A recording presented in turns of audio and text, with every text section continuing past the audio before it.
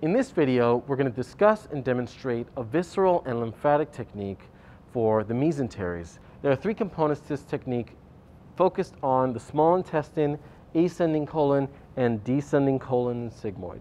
So starting with the small intestine, we're going to want to position ourselves uh, near the right upper quadrant of the abdomen, and we're going to make contact somewhere on the left side of the abdomen where the mesentery attaches to the small intestine and you'll feel a little bit of tension in that area.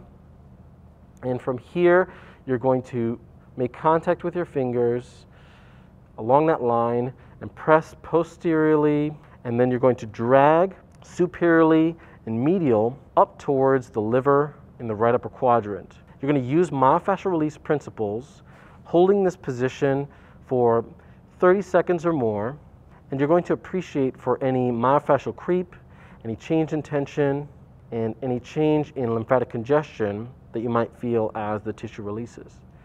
You can hold it for up to two minutes, but it may not take that long. Moving on to the ascending colon, you're going to switch positions and move to the opposite side of the table. Now, thinking of where the ascending colon is, you're going to try to palpate down to that ascending colon. You can use uh, your other hand to lift it posteriorly so you can feel it under your fingers. Once you find that ascending colon, you're going to try to look for the medial border where the mesentery attaches. Then you're going to take your fingers along that medial border and gently press posteriorly and pull medial so that you can appreciate the tension on those mesenteries. Now again, using myofascial release principles, you're holding for about 30 seconds or more. You're waiting for any kind of change in tension. And you're going to appreciate any myofascial creep that occurs. And with any change in tension, you're going to follow that tension as it releases medial.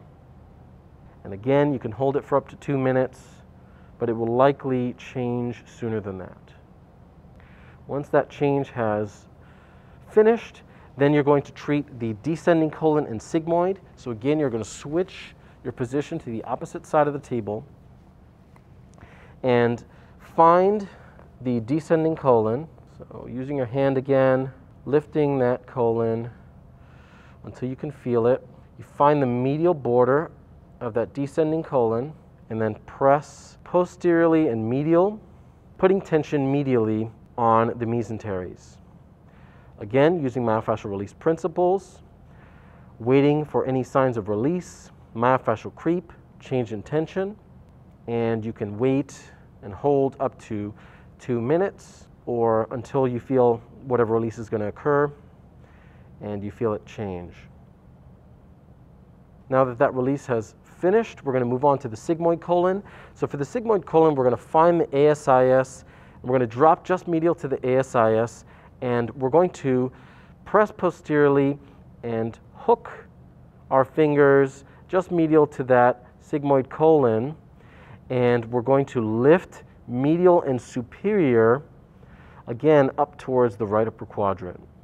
And we're going to hold feel for any kind of myofascial release any kind of myofascial creep change in temperature change in texture and we can hold that for up to two minutes or whenever the release has completed.